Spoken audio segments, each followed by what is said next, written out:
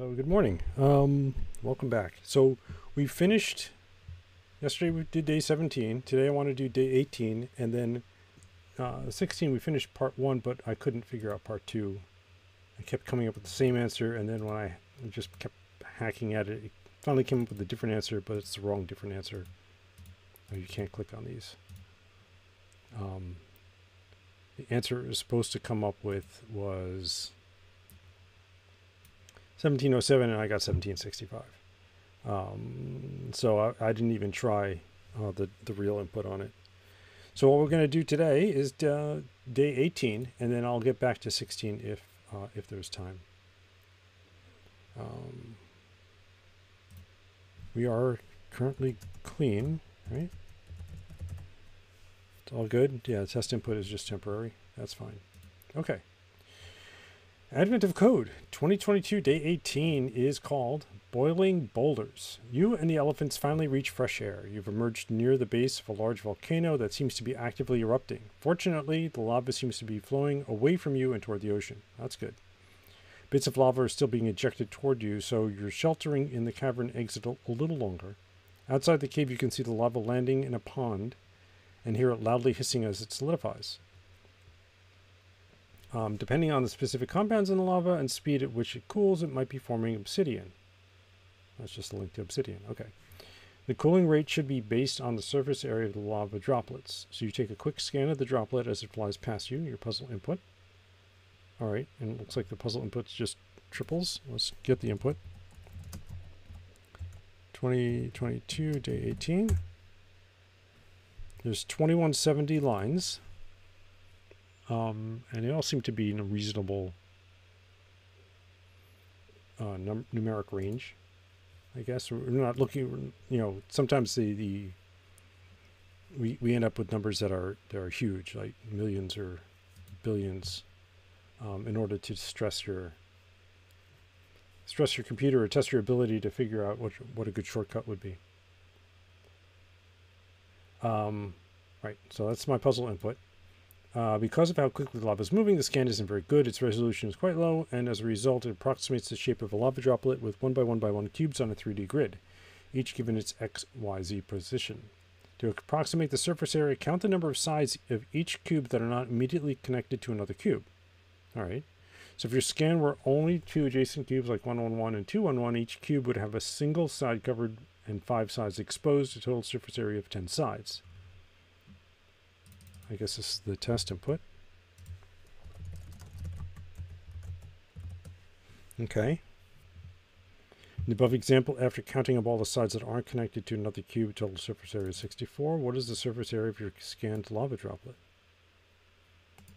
Hmm. Okay, that seems like it won't be too bad to do, right? Unless I'm missing something tricky. Let's put day 18 in here.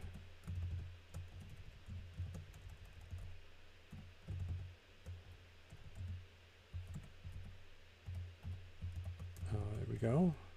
All oh, right, I got to switch around 16 and 18. I can do that. Um, 17 becomes 16, this becomes 17, and then we're going to work on day 18. Okay.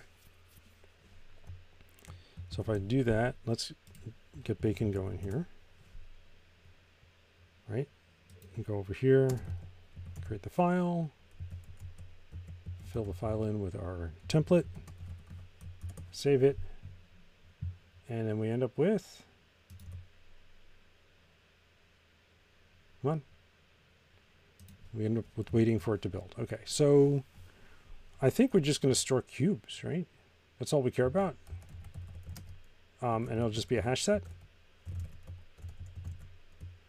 of, um, sorry, hash set of a tuple of XYZ. And now what we, what we can do is we can just store them in the hash set and then we can look up, down, left, right, forward, back, and see if there's a surface connecting. All right, so we start off with assuming that there's six sides exposed for every cube. And then every time we look at a cube, we look up, down, left, right, forward, back. This is the forward, back motion. This is the up, down motion, and this is left, right motion. Um, and if there's a cube on that side, we just subtract one from the total surface area. And that should subtract all the surface areas for us. And just leave us with the amount that's left, which in this case is 64, and in this case here is, is 10. Right. So let's just, let's grab the, uh, the input. Uh, let lines equals AOC lib read lines. Do I have a utility to read? Mm, I don't think so. Let's take a quick look while I'm here. I read to characters. I have numbers, but that just, oh, that does return a vec of vec of numbers. Okay, that's perfect. That's exactly what we want. So we just want numbers of i32 of uh, test input dot text. And let's see, I don't know, it looks like, I don't know, maybe there's 12 or so. Let's just say println um, this lines len and just see what it says. Uh, we have to import hash set.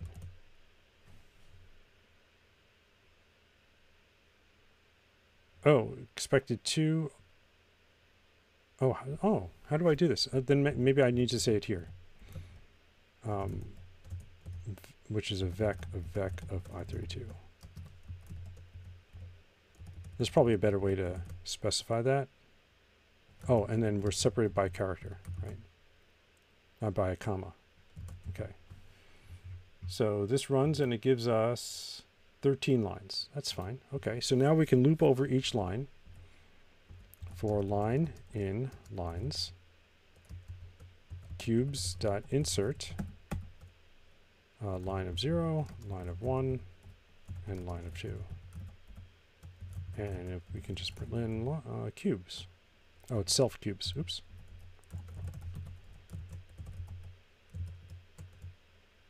Uh, we can debug it out. Hanako, hello. How are you? Thanks for joining. This might be a quick stream depending on how complicated part two is. I think part one's going to be pretty straightforward. Yeah, so here's all our cubes. Um, we should see these in here. 235, there's that one. 224, yep. Uh, 212 is here, and so on. Okay, so I think we got it. And now for part one, we don't need to print this out anymore. We don't need to print that out anymore. Part one is basically we come up with um, the number of sides it could be is self cubes len times 6, right? Because each cube has six sides.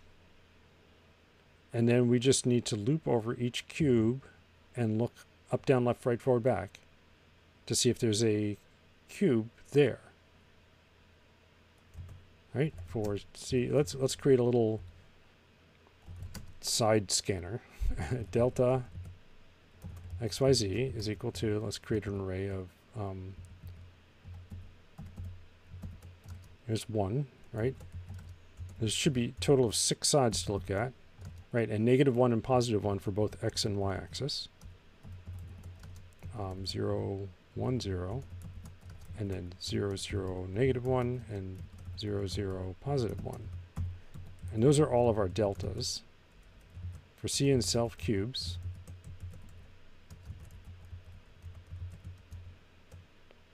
um, and then for d in delta xyz, let pos is equal to c dot 0 plus d dot 0, c dot 1 plus d dot 1, and c dot 2 plus d dot 2. So what we're doing is we're looking in each of the six directions from the current cube we're on.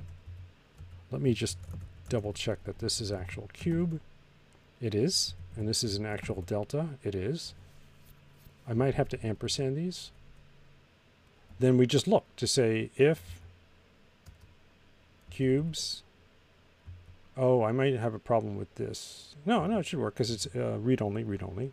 If cubes contains pos, then sides minus equals 1. Right? And then we just have output that sides. And this should be 64 using the test input um, self cubes. Yeah, I got to do that. Okay. Is that 64? Yeah, 64. Okay, so let's use the real input now. Um, input 2022 18.text. And we get a number of 3550. What do we get here? That's the right answer. All right. That wasn't too bad. That was very, very straightforward. So maybe part two is going to be a lot more complicated. Let's find out. Git add source git commit dash m 2022 day 18 part 1.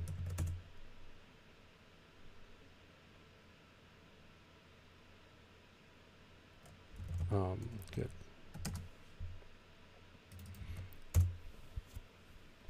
All right, so day 18, part 2 says Something seems off about your calculation. The cooling rate depends on exterior surface area, but your calculation also included the surface area of air pockets trapped in the lava droplet. Anshul, thank you for joining. Thank you for following. Much appreciated. Um, instead, consider only cube size that could be reached by the water and steam as the lava droplet tumbles into the pond. The steam will expand to reach as much as possible, completely displacing any air on the outside of the lava droplet, but never expanding diagonally. That's very clever of it. In the larger example above, exactly one cube of air is trapped within the lava droplet at 225. So the exterior surface area of the lava droplet is 58. What is the exterior surface area of your scanned lava droplet?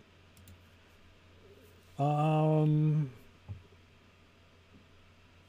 so how do we determine that there's an interior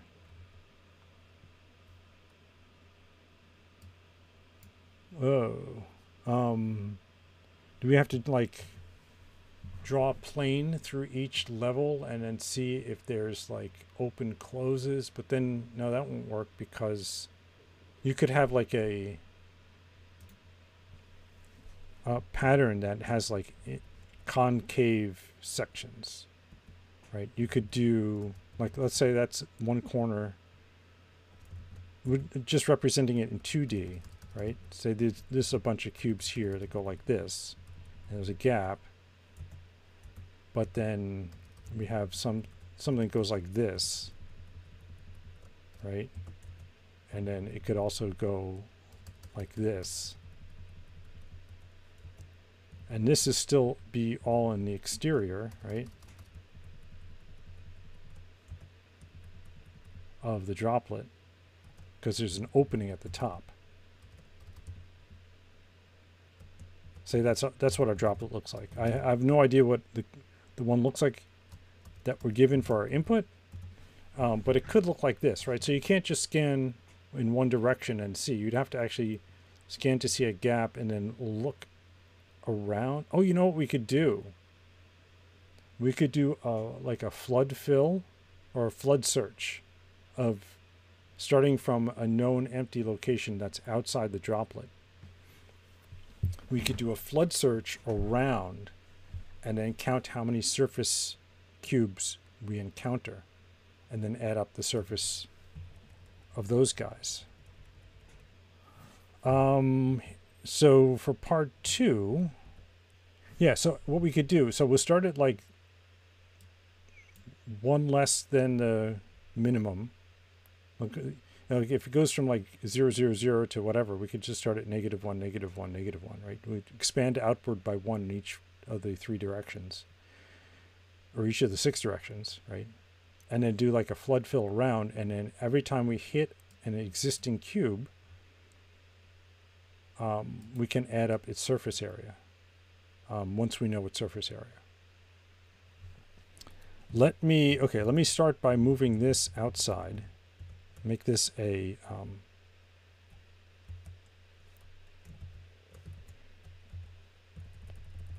a const impl OC 2022 18 and we'll just say const delta this is colon oops this colon, and it's going to be I32, I32, I32, semicolon 6, right? six of those guys. And do that. And then change this up here to be self delta xyz. So that should still build and should still give us the same answer as before. 35 something. 3550. Okay. So now we can use that in part two as well. Um, oh, but we need to know the bounding box. And what we could do actually as we go through the cubes, we can redo this loop, but keep track of the number of sides a particular cube has. So we can say let, um, I don't know, we'll call it outer cube. Is equal to self cubes. Dot. Oh no no, we can we can do is make it a hash map, and then we can map each cube XYZ location to a side count, which starts off at six. Um, for C in outer, no, C in self cubes, like this. And since we're running through them all, we can also keep track of our x, y, and z. Let mut x range equals um, i32 max, comma i32 min. And make that for y and for z.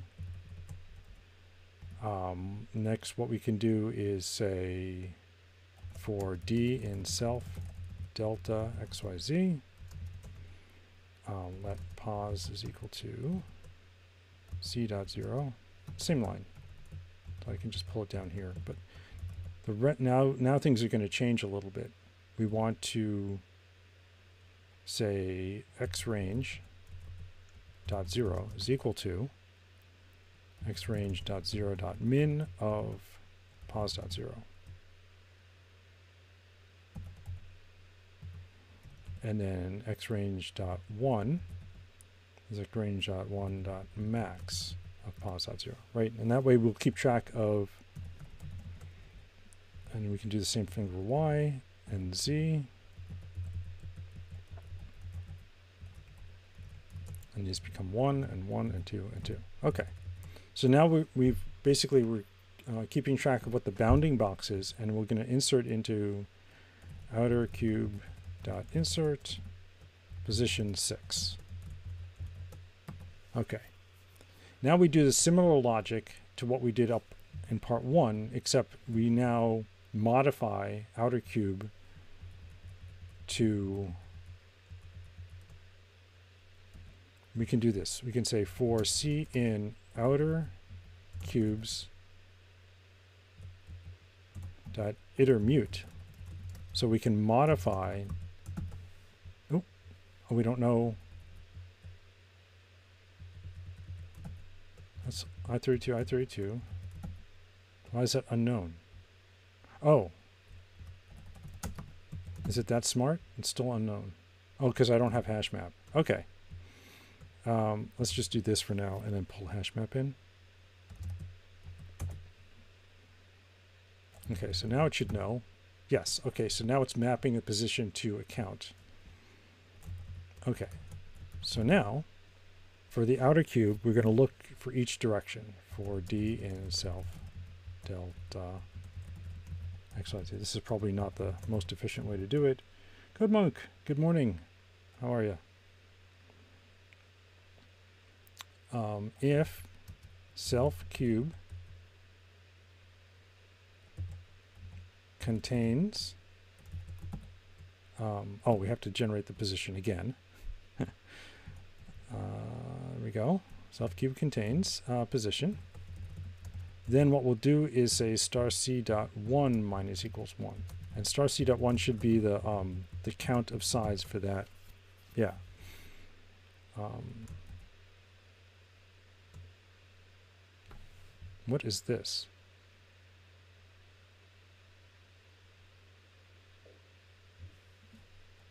Um, I'm going to do the test input first, and we'll see what things look like after I do that, because I'm confused by what I just saw. the description of this pause doesn't make sense to me. So println, um, I should be able to print out the outer cube.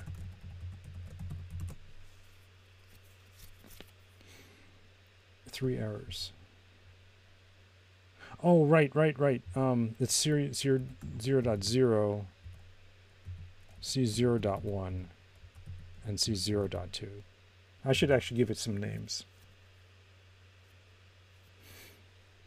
Good Monk says part one of yours was really quick. Yeah, it, it didn't seem like there was a lot of work to do. Um, it was just counting how many sides were not exposed. So, um, so three one two says four, two two two says zero, two two two. So what was the what was the thing? Oh, it was two three, two two five, which won't be in here, so it doesn't really help me. But we have the information now to do like a flood fill, right? Or we should. Um, let's expand outwards. So x range becomes x range dot zero minus one, x range dot zero one plus one, like that. Uh, range. And we do that for y and z as well. That way we we expand out by one so we know that we can flood fill from the outside. So once we expand out the range in each of the three or six directions, now we should be able to just do like a fill, right? So let mut seen is equal to hash set new. Let mut uh, to visit. We'll do our, our usual code we've written a bunch of times before now in previous um, uh, previous events of code.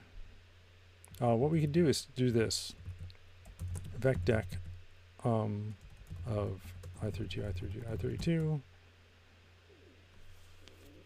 uh, equals vecbang of uh, x range 0, y range 0, and z range 0. Right? And now we just say while let sum position is equal to 2 visit up front. Uh, if we haven't seen it, if we have seen it, in other words, we can't insert it to the seen set because it already exists in the seen set, continue. Um, and then we need to loop over all the positions around our current position and take a look for D in self, delta, XYZ. Uh, and then we just get this guy here. Oh, it's going to be a little bit different though. This is going to be next pos because this is going to be, oh, that's formatted weird. It put a space in there. Maybe I need to update my Rust format. Um,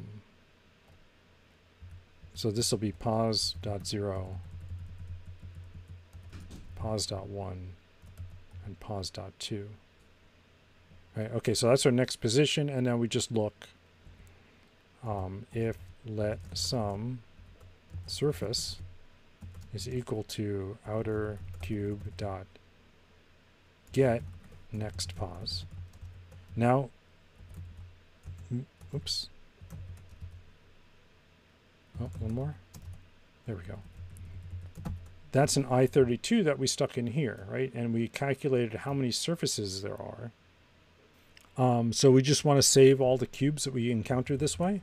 I guess we can also put those in a hash map. Let mut found is equal to hash map new. And then we can add up all the surfaces on those cubes, right? We can just say um, found, insert, Next pos. Surface. Oh, what, what is surface? Surface is an I-32. Let's just make it a, a proper I-32. There we go. Right? So if we found we found something, otherwise we want we didn't find something in the outer cube, so we'll just put it in the to visit. Push back. Next pos. Right? And then once we get through all of that, um, we should be able to use a similar Oh, we should be able to just sum up all the sides. Yeah. So this should just become found dot iter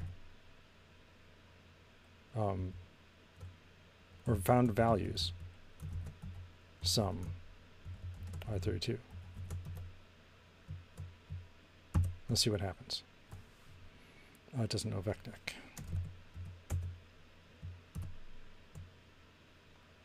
Um, I can't do that. Oh, maybe I have to do from vec. Okay, let's just do the, the easy way, the two-step way, VecDeque.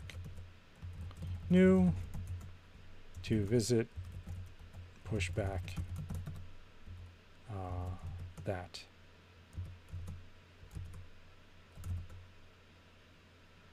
One more. There we go. Okay. Hello. Uh-oh. Uh-oh. Do I have an infinite loop here? Um, oh, I, that's right. I want to do that over here, just in case. Don't want to dox myself. Okay, so it's not running. Uh, cargo run. Let's see if we see anything here. Nothing. Um, what did I miss? Oh, duh. We have to make sure we're in range. If next pos dot zero is less than x range zero or next pos zero is greater than x range one or or and we can do this with one and two this is y and z 1 and 2, y and z. Continue. Yeah? All right, let's see if that finishes. Love those infinite loops. All right, so it came up with 146, which is a little bit larger than 58. Why?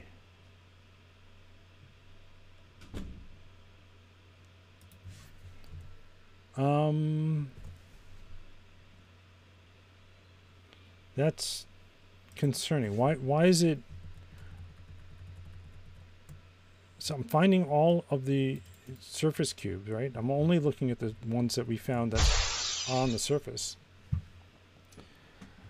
Edible Monad, thank you. Thank you for the raid. Welcome, Raiders. How was your stream, Edible? Hope it was good. Um, what we're trying to do right now is trying to figure out how uh, where where I'm going wrong with this this code here. And MadFlash19, thank you for the follow. Um, so what we're doing is we're going through each of the cubes and we're looking to see how many how many how many sides each cube has. I program kids. Thank you for the follow.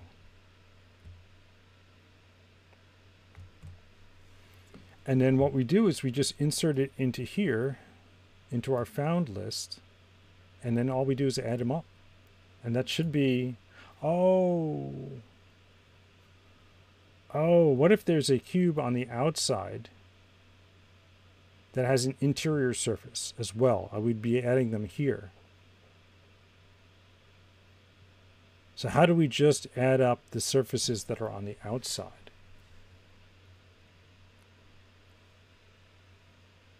Um, oh, well, I mean, each one of these is finding a cube surface. Is it as simple as just counting them up?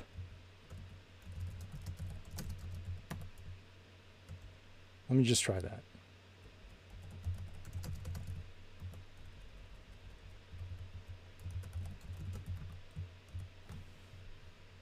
Oops, doesn't like that. Oh, because I put a semicolon there.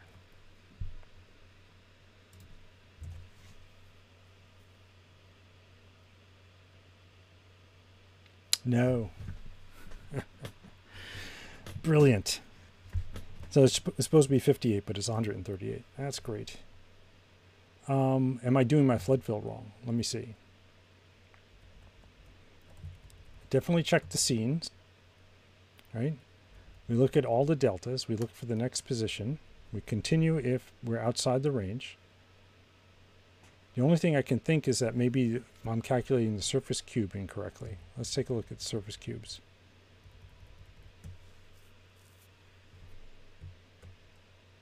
Um, where am I calculating? So here, oh, sorry, the outer cubes, right? So the outer cubes are here. Hmm.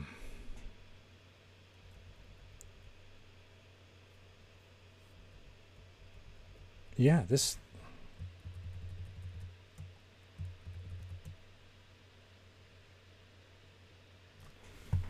Oh, this is frustrating because this this I don't see what the bug is. I, I have a bug here somewhere and I don't know what it is.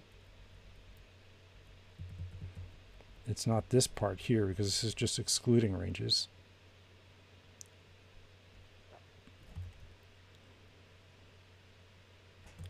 This calculates the range of, of the cubes.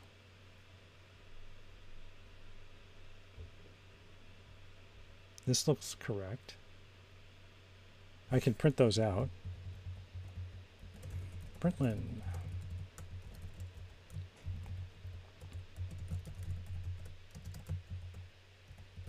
Oh, now that now that I, I don't have an infinite loop, I can go back to bacon here. Z range.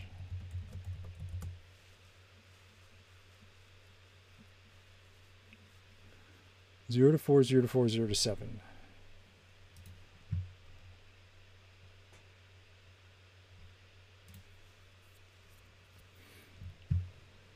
Um, I don't see any sevens in there at all.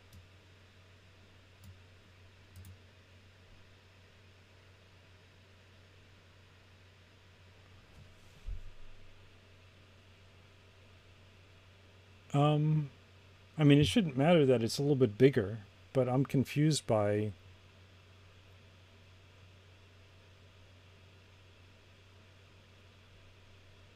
Oh, I, mm, I want all the, I don't want to delta it. That was dumb. I got hung up on doing all the delta stuff.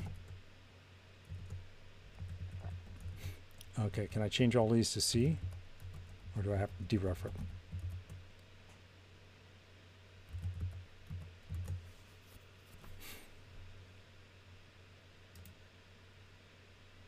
Okay, one to three, one to three, one to six. One to three, one to three, and one to six. Okay. Oh, and that fixed that fixed part two. That was the bug. I had too many cubes in my thing. Oh, okay. All right. Not too bad. Okay, so let's try it on the real input now. Just get rid of that print statement. Um, let's go here. Switch this over to this. 2028.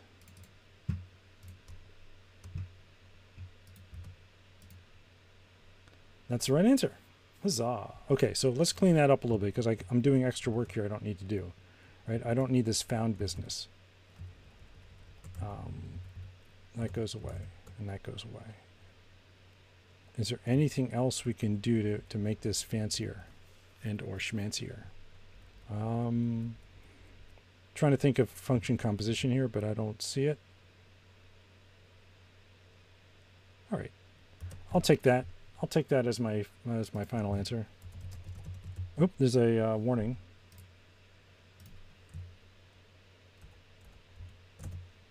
Uh, 105, we're not using. Oh, we're not using surface. We don't care. Um, so all we care about whether or not it contains key. Oh, which means outer cube doesn't need to have the numbers in there. We don't care about the numbers. Oh. So we could just say if cube contains key, right?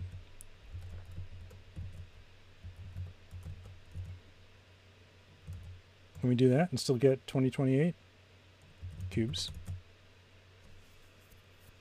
Um, if, get rid of this and this,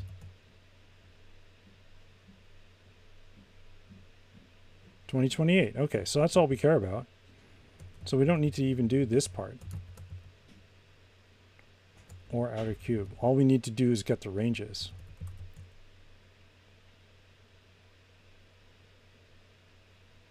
Twenty twenty eight. Now we're not using hash map. Okay. That cleans things up quite a bit here.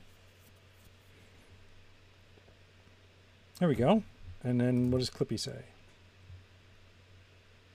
Clippy likes it. All right, so that's a nice cleanup. Um, yeah, let's go with that. Okay, git status, git commit dash am 2022 day 18 part 2. All right, that's not too bad. It only took me about um, a little over a half hour. So let's go back to day 16 because day 16 was killing me.